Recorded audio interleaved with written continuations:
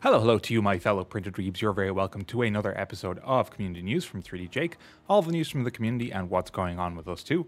I'm joining you from the 3D Jake office in the center of Graz in southern Austria, a country where the only word you really need to learn is Oida. Here's what's going on in 3D printing right now. So, first up is ba -ba -ba, Prusa. We now have Prusa in the shop and we have the Mark IV-S kit and assembled in stock right now and the MMU3, the SL1SB, the Prusa XL, Core 1 kit and assembled will all be in stock in the coming weeks. I am very excited to get my hands on the Core 1 and there will be testing and a product breakdown coming soon.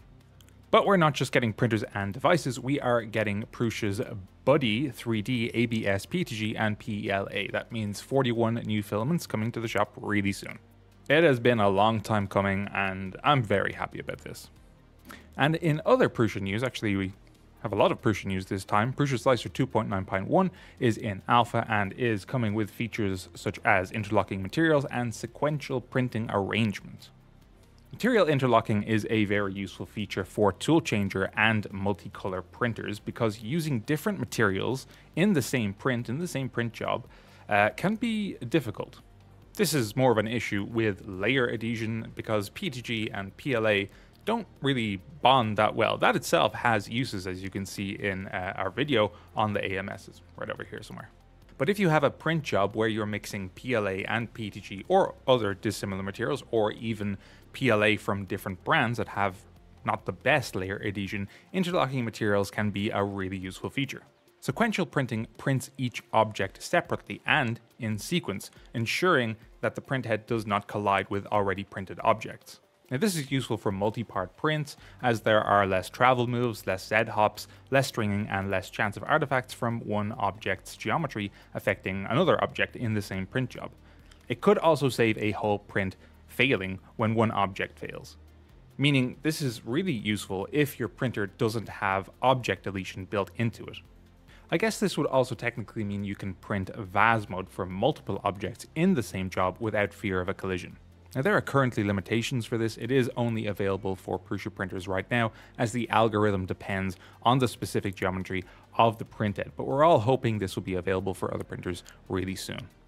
And of course, Prusa acknowledges the work already done by Ultimaker and Orca, as these already have a similar feature to material interlocking built into them, and also to Microsoft for open sourcing the algorithm used in sequential printing.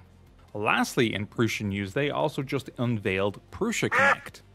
This is a feature built into Printable, so it's browser based. You can use it on your phone, on your desktop, on a tablet. But what you can do with it is you can connect via your own printer. So you download the model from Printables and print it via the browser. And it's not just automatically generated G code like with MakerWorld. You can select whatever profile you already have on the slicer. Want to add multiple files to your build plate? You can because there's a cart option. Simply select what you want, select your profile, change whatever basic settings you need, like infill, layer height supports. You can rotate it, position wherever you want on the build plate, and print. And as long as you have internet access, you can do this wherever you are in the world. Provided your printer's on. Okay, what else? So we are getting the Elegoo Centauri Carbon and regular Centauri, and these are very cool because of the price. That is pretty goddamn cheap. I've just started testing, and so far it looks pretty good. We're getting really good results on a printer that only costs 350 euro. It's very similar features to the X1. I don't know how they're doing this. What I really like is the build plate. It's 256 by 256, and sometimes I can be a bit critical of manufacturers copying each other outright. However, when they copy each other in the right way, it can be pretty cool because the Centauri Carbon build plate and the X1 build plate, they match. And that is really cool. They're not the same form for aesthetics, but they are swappable. You can use them interchangeably. I like this. And we will be doing a full product breakdown in the next few weeks, so tune in for that. Now, next up is Benchy news. So, you might remember some weeks ago, uh, Benchy remixes started disappearing from printables, uh, as it seems the company who owned the copyright to Benchy had wanted to limit its proliferation in terms of derivatives. Benchy always had a no derivatives license, but it was never enforced. It seems the company who owns the copyright were not actually responsible for the takedowns, but noticing the impact the removal had on the community, they have changed things a little, and Benchy is now back in public domain. So import the 3D Benchy into your CAD program of choice and start remixing it in sick, twisted ways.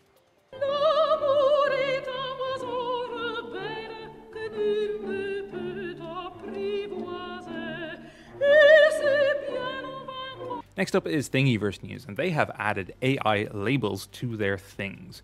You might have noticed over the last not even a year that you might see these beautiful renders on Thingiverse and printables and Makerworld and such. Uh, and then you click on them and you go to the 3D view and it looks like crap, like awful, like it was scanned with a potato. AI is getting everywhere, and we think it's okay until it isn't. It's misleading and it's irritating and it's filling up the new arrivals area like gunk in a shower drain. Nobody is enjoying this. As far as I know, Thingiverse is the first model hosting site to provide users with a filter to filter out AI creations. The only issue here is that creators have to mark their creations as AI created. Will they? I don't know, because those renders seem very sus already. However, Thingiverse have also created a feature that allows you to report a model that is missing the AI label, so that's good. To filter out AI creations, you just need to go to your settings and select the filter. Easy peasy.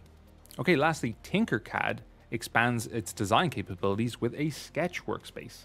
So if you're a Fusion user or a, a different CAD user, uh, you're probably familiar with the sketch feature. So with this, you just really draw a shape on an axis, extrude it along that axis, and it creates a 3D model based on that 2D sketch. And if you want to change it, you can do another sketch on a different axis and change it that way. This is basically the way all 3D models are created in CAD, and it's a very useful and powerful feature. Tinkercad, however, is a very, very basic CAD program. Normal CAD programs can be intimidating and expensive as well. So having Tinkercad, which is very easy and free, is a great way to start your CAD journey. Tinkercad, however, does lack some of the functionality of other CAD programs like Fusion. Obviously, it's supposed to be simple, but adding the familiar sketch tool to get started with your models is awesome for beginners. I, for one, think this is very cool. Okay, that about does it for this month. As always, links to all of the stories are linked below in the description. And wow, we got through a whole community news without ever talking about Bambu Lab. Yeah. But I guess referring to Bambu means we did just talk about them. And I did reference Maker World. Ah, Anyway, if you didn't know, we have our own Discord server, so if you want to talk about any of the news stories that we brought up today, you can do so there. You can also bring up your own news story if you wish, and if you want to talk to us, we are there every weekday as well. We'll be back with a new video in approximately tomorrow. So until then, happy printing. Later.